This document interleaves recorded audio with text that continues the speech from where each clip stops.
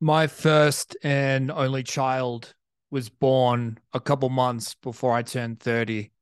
And so for me, it was a pretty interesting uh, vantage point in my life because I could look back at my 20s and I could see all the hedonism and individual pursuits.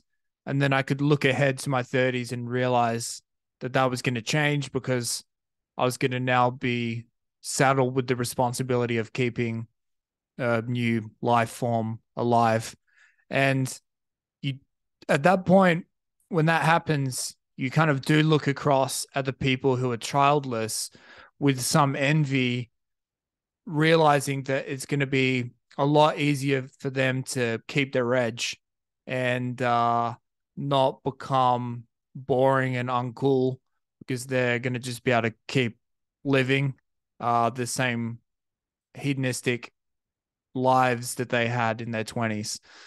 Uh, so that was kind of what I was expecting, but I've been curiously surprised in that I generally find that a lot of the uh, childless people that I know that are in their 30s, they generally become kind of as boring as breeders. And I made me wonder why.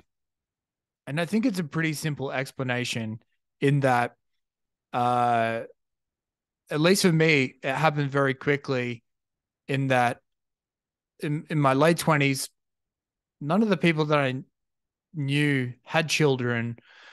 And it was strange in a way because you're like, fucking hell, you girls are getting older. You don't seem to want to have kids. And then the first first gal punches one out, and then the baby fever stuff spreads like chlamydia around a fucking army barracks. Everyone's punching him out. And in the space of two to three years, everyone's got a kid and, and they're moving out of the city towards the suburbs. And so I think that that largely explains things because if I look back and I think that I think about what I defined as cool or what was a cool person in my 20s, generally it was people who are around a bunch of other people. It's kind of like if you can um, amass a ton of other cool friends and uh, be seen in public places with all your friends, you are just automatically cool somehow. And it's kind of like fish in a barrel because in your 20s, you're starting out your careers, you don't have much responsibility. You've still got friends from high school or college, which you kind of which bleed over into your 20s. And and so you do have a lot of opportunity to hang out and travel with one another. And, most importantly, take uh, photographic and video evidence that you can upload to the internet to prove how cool you are. But then once the fucking uh, baby chlamydia starts spreading and everyone fucks off, well, the majority of people fuck off to the suburbs. The childless don't have uh, a, a big pool of people to draw upon to produce evidence that they're still cool, that they still have their edge. And so I think that that um, becomes an issue. And so, as far as I can gather, the childless people in their 30s, they realize this that they're like, well, fuck, if I want to try and uh, keep up appearances and, and, um, do the same shit that I was doing in my 20s, I'm going to have to get like significantly older or younger friends. And some people do that.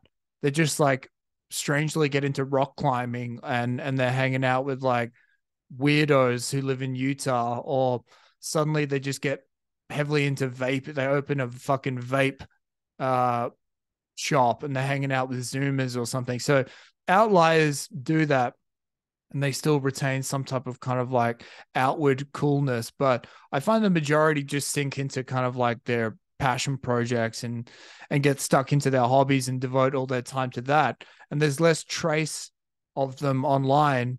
And so therefore, I'm over here um, keeping my child alive and dealing with late nights and a teething baby. Was there like fucking Bobby and the Sopranos just tinkering with their train set?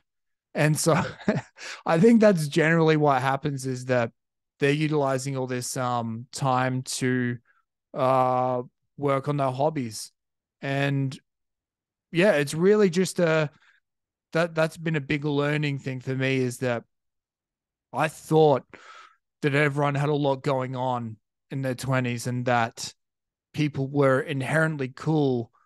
But I think that you just trick yourself into thinking that all these people, if they're congregating with one another and they are seeing each other regularly and they're posting evidence of these meetings that that somehow makes them cool. I don't th- uh, coolness comes within, man. So I think that 40s is really going to be the the decade where the real cool ones are going to show um, what they're worth. Because at that point, you've had a lot of time to work on yourself and produce something of value and actually become a cool person. It's not just like some uh, happy accident that happens in your 20s because you're all around each other. In your 30s, you're busy working on your hobbies or raising children. So, really, what I've come to realize is that in your 20s, pretty much everyone's cool. In your 30s, pretty much no one is cool. And then in the 40s, it's kind of like, we'll see. Let's let's see who's the real cool ones. let's see who hasn't lost their edge, and we'll be dancing to fucking LCD LCD Soundsystem at backyard barbecues. So see you there, cunts.